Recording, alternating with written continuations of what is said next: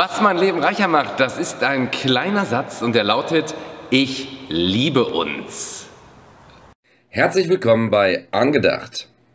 Ja, dieser kleine Satz, ich liebe uns, der ist gefallen äh, am Ende eines Filmes, den ich jetzt letztens im Zoom-Kino in Brühl gesehen habe und der hat den Titel Tully oder Tully, wie auch immer.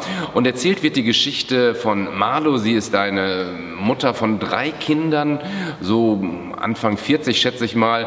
Und da sitzt sie zwischen... Äh, Essensresten, Kleidungsstücken und Spielzeugen, die verteilt sind auf dem Teppich, auf dem Tisch, auf dem Sofa und ist völlig überfordert. Sie hat gerade ihr drittes Kind zur Welt gebracht.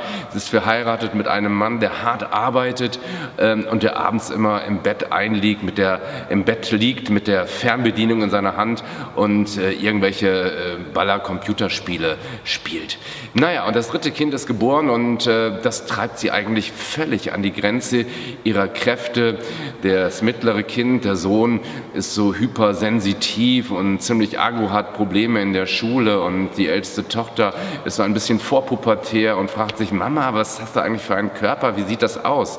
Also ein amerikanischer Film, der die Wirklichkeit mal darstellt, äh, ungeschminkt und nicht so äh, glatt, äh, wie das sonst immer so passiert.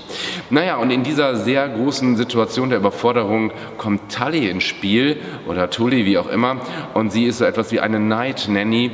Sie ist in der Nacht da und kümmert sich um das kleine neugeborene Kind Mia und äh, wickelt es, bringt es zum Stillen und so weiter.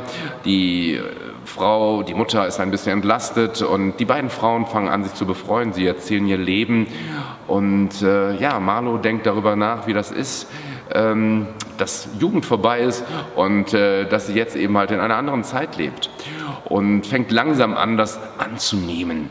Und äh, so in der relativ vorletzten Sequenz des Filmes ist es so, dass die beiden Frauen doch in einer Nacht einfach mal ausbrechen. Mia ist gestillt, alles gut, alles prima. Und äh, sie fahren nach Brooklyn in die City und machen richtig einen drauf. Und auf dem Rückweg passiert dann natürlich das Drama, was natürlich passieren muss, damit der Film spannend bleibt.